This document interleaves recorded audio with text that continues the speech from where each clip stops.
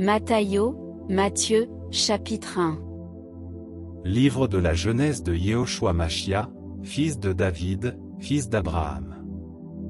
Abraham engendra Yitzhak, et Yitzhak engendra Yaakov, et Yaakov engendra Yehuda et ses frères, et Yehuda engendra Péret et Zérak, de Tamar, et Péret engendra Etzron, et Etzron engendra Aram, et Aram engendra Aminadab, et Aminadab engendra Nachon, et Nachon engendra Salmon, et Salmon engendra Boaz, de Rahab, et Boaz engendra Obed, de Ruth, et Obed engendra Isaïe, et Isaïe engendra le roi David.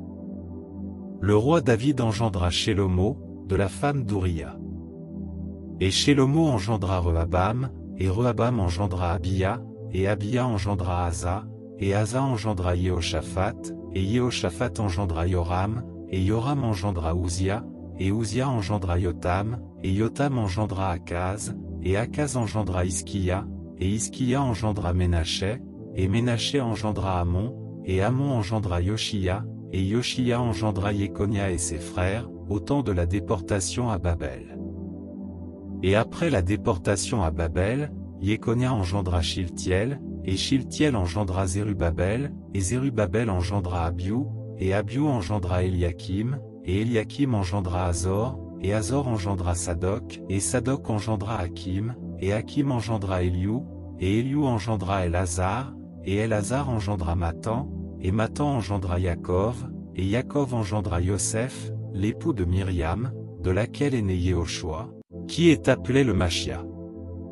Ainsi toutes les générations depuis Abraham jusqu'à David sont en tout 14 générations et de David jusqu'à la déportation à Babel, 14 générations, et depuis la déportation à Babel jusqu'au Machia, 14 générations.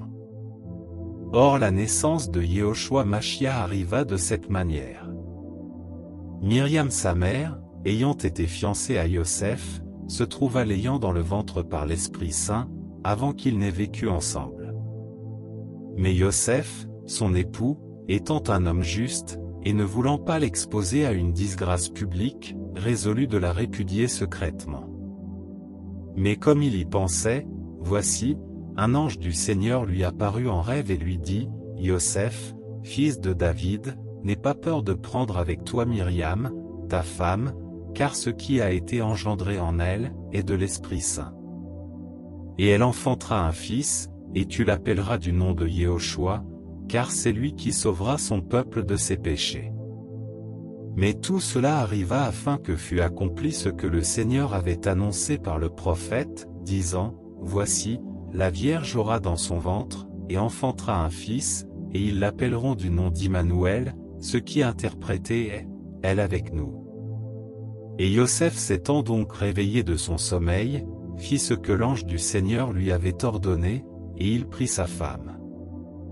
Mais il ne la connut pas jusqu'à ce qu'elle ait enfanté son fils premier-né, et il l'appela du nom de Yehoshua.